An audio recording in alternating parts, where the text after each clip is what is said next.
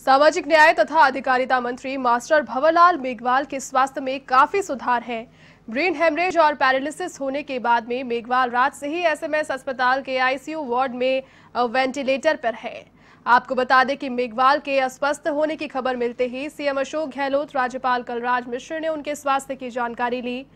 वहीं उप मुख्यमंत्री सचिन पायलट, मंत्री विश्वेंद्र सिंह, प्रताप सिंह खाचरियावास और साथ ही में चिकित्सा मंत्री डॉक्टर रघु शर्मा ने भी एसएमएस अस्पताल पहुंचकर उनके स्वास्थ्य की जानकारी ली। उपनेता प्रतिपक्ष राजेंद्र राठौर, मंत्री हरीश चौधरी ने अस्पताल पहुंचकर मेघवाल से स्वास्थ्य संबंधित जानकारी ली। वहीं एआईसीसी कोषाध्यक्ष अहमद पटेल, प्रदेश कांग्रेस प्रभारी पांडे ने भी मेघवाल की पुत्री बनारसी मेघवाल से फ़ोन पर बात करके उनके स्वास्थ्य की जानकारी ली।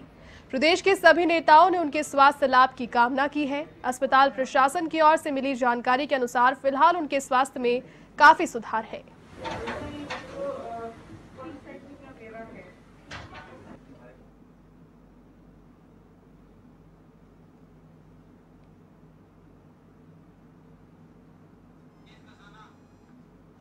और इसी खबर पर अधिक अपडेट के लिए वन संवाददाता दिनेश कसाना मेरे साथ में फ़ोन लाइन पर जुड़ चुके हैं। दिनेश, कल जैसे ही शाम में ये खबर आई, उनके अस्वस्थ होने की मास्टर भवरलाल मेघवाल जी के तो एक बार की जो लोग हैं, उनके दिल में यहाँ पर दर्द सा हुआ, लेकिन अब ये स्वास्थ्य सुधार की जो खबर है, उससे राहत की बात लोगों के लिए है। क्या पूरी अपडेट है आपके पास?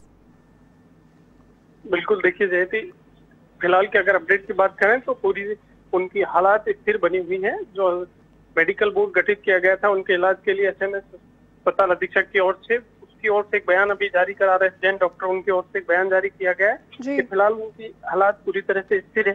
जिस तरह कल देर रात उन हालात उनकी स्थिर हुई थी और पैरालिसिस और ब्रेन हेमरेज के चलते उनको एसएमएस में हॉस्पिटल में भर्ती करवाया गया था। फ़िलहाल आईसीयू वार्ड में वेंटिलेटर पर मास्टर भवरलाल मेघवाल भर्ती हैं और फ़िलहाल उनकी हालात पूरी तरह से स्थिर बताई जा रही है।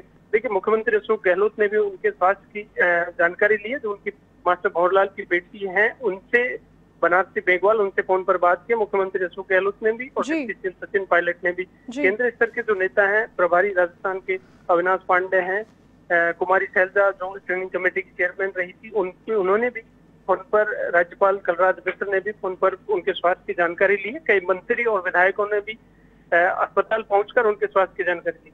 जी तमाम जानकारी के लिए बहुत शुक्रिया दिनेश।